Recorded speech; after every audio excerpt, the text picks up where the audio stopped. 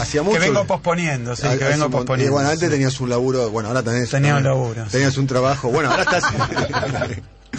ahora tenés un trabajo importante. Porque Un trabajo, sí, venimos trabajando muy fuerte, la verdad, un montón de un montón de labor legislativa, tuvimos como le sumo veintipico de horas de sesión más o menos continua por el tema este de- del tratamiento express y de lo que un diputado nuestro el otro día dijo, a nosotros nos acusaban de que el Congreso era una escribanía del gobierno nacional.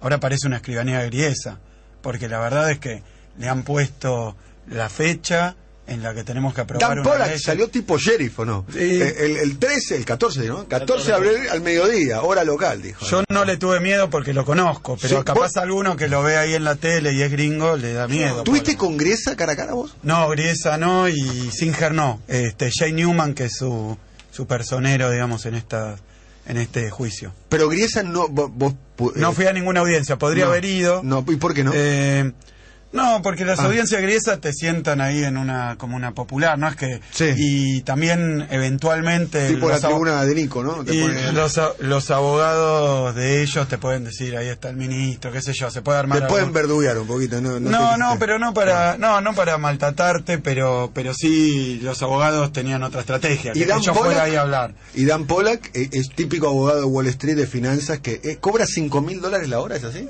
Esas películas tipo lo- los buitres de Wall Street se Sí, deberían sí, llamar. sí. Y sí, es un, es un cajetilla abogado ahí. Lo- los de los buitres no, los abogados de los buitres son onda Woody Allen, más o menos. Vienen vestidos todos prolijos, mocasines ¿Sí? y media. Para que te hacen un acting de que, de que Después se llevan cinco mil palos, ¿no? Pero, pero sí, sí, sí, son así.